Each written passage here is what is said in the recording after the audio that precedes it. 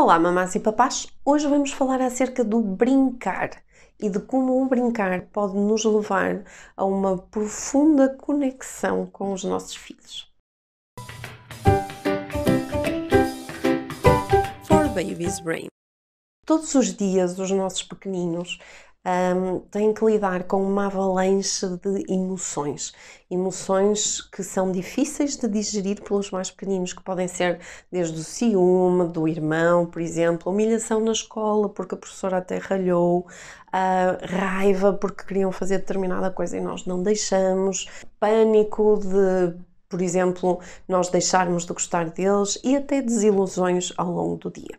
Estas emoções nos mais pequeninos geram muita tensão porque não têm a mesma capacidade que nós de pensar sobre as emoções e elaborar as emoções de forma uh, regulada e que nos ajude uh, a sentir-nos equilibrados. Para além disto, estas grandes emoções nos mais pequeninos muitas vezes tornam-se físicas, porque efetivamente eles são mais físicos do que nós uh, em adultos.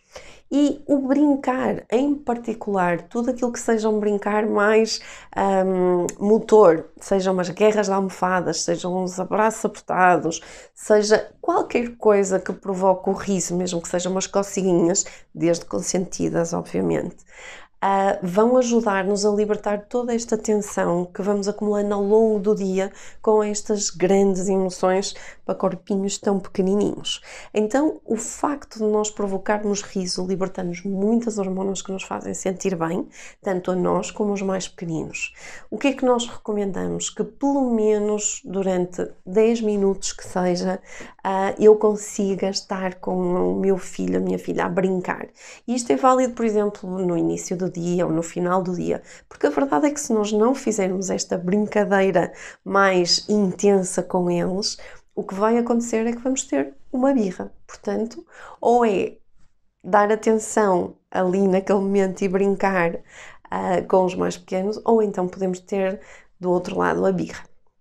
Vou-vos dar alguns exemplos de brincadeiras que eu utilizo e que funcionam muito bem com a minha filhota e por isso vai funcionar de certeza com os vossos. Primeira brincadeira, carregar baterias.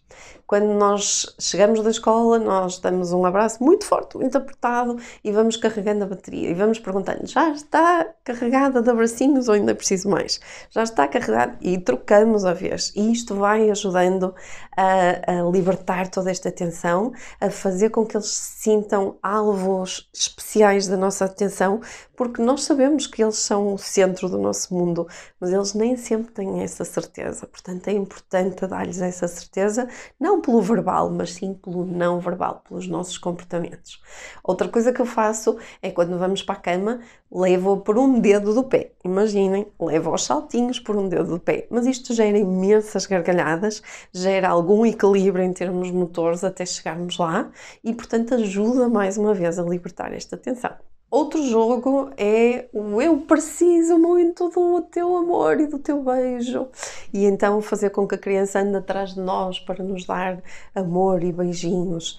Eu preciso muito. E depois deixar, oh, mas tu fugiste-me. Eu preciso muito. E continuamos. Outro jogo que podemos jogar é o jogo do não mal disposto. Quando a nossa criança chega a casa e diz que não a tudo e está com aquela cara de burro preso, então nós deixamos dizer, vais dizer que não a tudo, só que vais dizer num tom baixinho. E nós repetimos, eles dizem, não, não quero comer, eu digo, não, não quero comer, não, não quero, e deixamos que todos aqueles nãos saiam.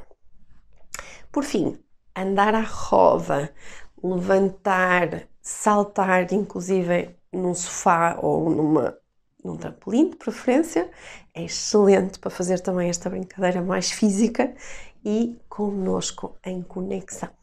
Não sei se já fez aqui like no nosso vídeo, se gostou, partilhe, mostra a outras mamães e outros papás o quanto estas dicas podem ser de valor para o dia a dia deles. E já sabe, temos as nossas redes, o Instagram, o Facebook e o nosso site que estão cheios, repletos de informação que pode utilizar no dia a dia. Informação baseada na ciência e não nas opiniões. Ouçam os vossos bebês e sejam felizes.